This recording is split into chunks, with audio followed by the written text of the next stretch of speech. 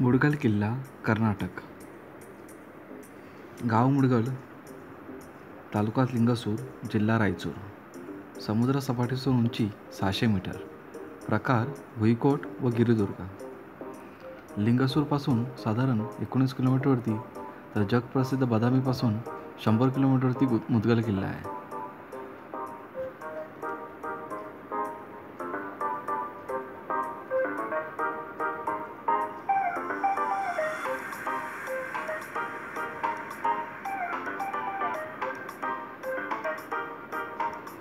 किल्ल्यामध्ये प्रवेश करताच गोमुखेचे प्रवेशद्वार आपल्याला स्वागत करतो.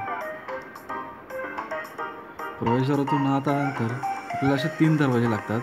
त्याच्याने आपल्याला बाकी कलाकुसरीचं दर्शन होतं. गावामध्ये गाव हे किल्ल्यामध्येच वसले असल्याने आपल्याला अनेक गावकरी दिसून येतात. तीन प्रवेशद्वार व तसेच देव प्रवारेकराच्या देवळ्याही दिसून येतात. चौकोनी प्रकारचे बुरुज प्रवेशद्वाराला आहेत. त्याच्यावरती सज्जही आहेत.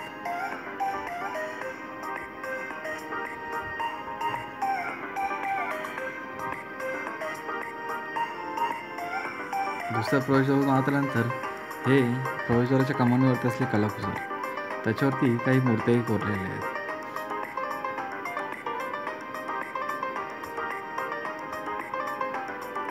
दगडावरती कोरलेले नक्षीकाम अप्रतिम आहे.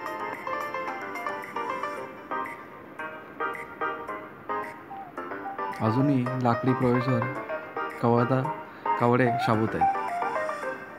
पहारेकांच्या देवळावरती अनेक कलाकुसर दिसून येते. यामध्ये आपल्याला प्रामुख्याने देवगरी साम्राज्यातील व मुघल साम्राज्यातील कलाकुसरचं मिक्स कॉम्बिनेशन दिसून येते.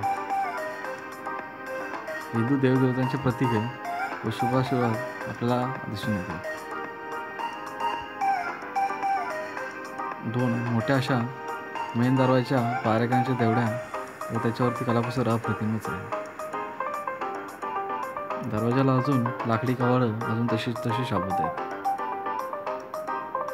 अखंड दगडात कोरलेलं हे अप्रतिम शिल्प आहे. क्वचितच काही गडांच्या पारेकांच्या देवड्या इतक्या सुंदर असतात.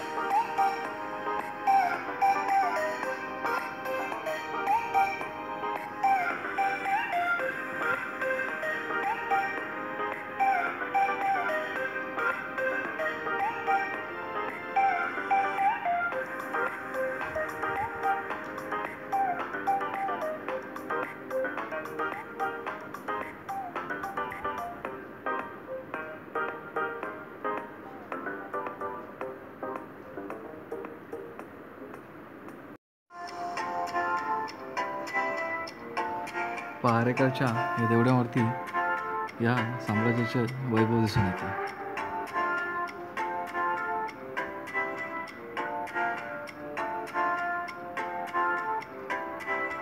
कलाकुसर ही अप्रतिमच म्हणावी लागेल. दगडात कोरणे हे किती जिकरीचं काम आहे हे आपल्याला दगड उचलताना दिसून येतं. दगडावरती आपल्याला राजे युद्ध हत्ती असे अनेक चिन्ह दिसून समजून येतात.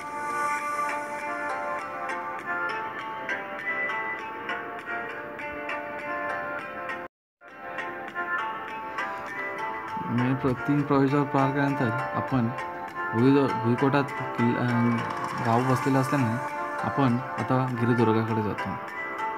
मुदगलमध्येच भुईकोट आणि गिरिदुर्ग असे दोन आहेत पाकळले आहेत एकोणीसशे शतकात मुदगल दे देशातील शैक्षणिक केंद्र होतं.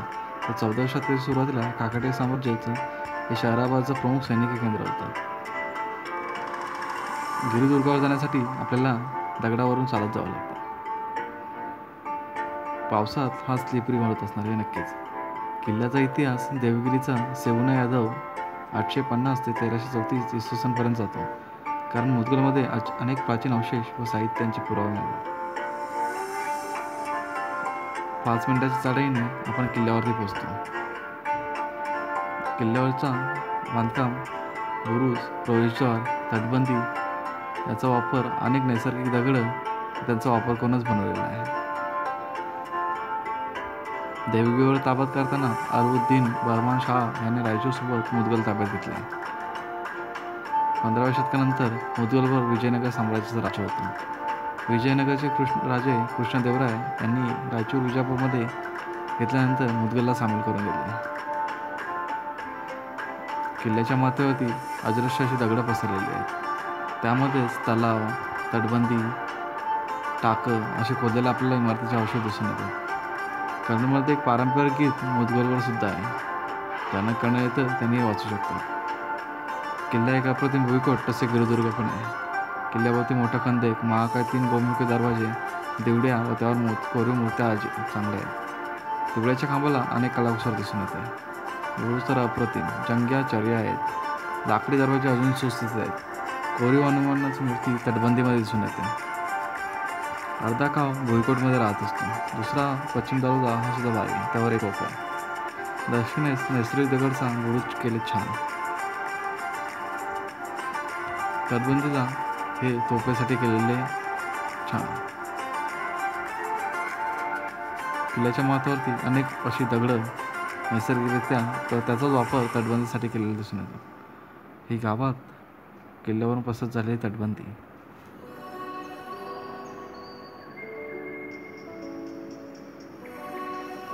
नैसर्गिक साधनांचा पुरेपूर वापर कसा करावा हे आपल्याला त्यांच्याकडून शिकणे भाग आहे.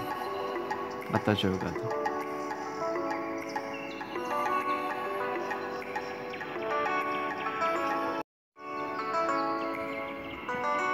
किल्ल्याचे बुरुज तटबंदी व दूरपर्यंत पसरत जाणारी दगडांचा वापर करणारी बनवली हे खंदक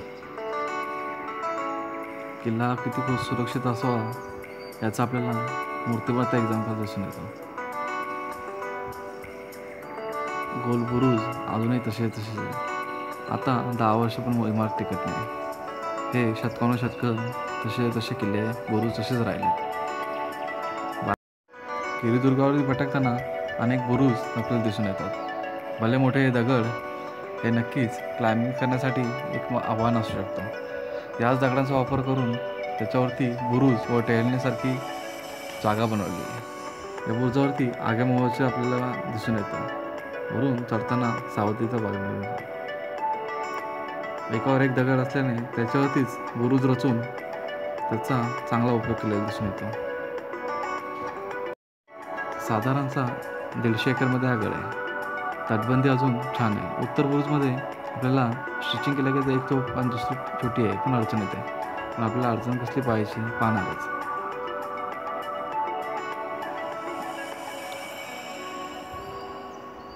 हा दुसरा पश्चिम दरवाजा. हा सु- हा याच्यावरती फिरताना आपल्याला ह्याचे भक्कमपणा दिसून येतो. याच पश्चिम दरवाजाची एक मोठी तोफ आहे. आपण तीच पाहायलाच जातो आहे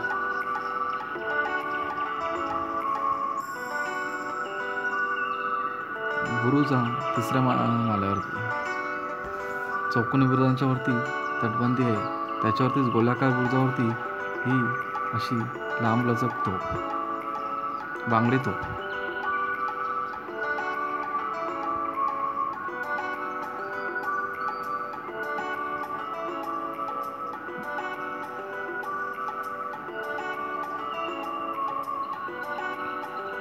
तोफ इथून आपल्याला पूर्ण गावाचा नजारा दिसून येतो